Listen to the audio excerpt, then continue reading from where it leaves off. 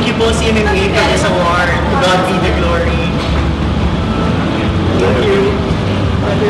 We're really very, very grateful for this award and we really want to congratulate the, the moderators and the students especially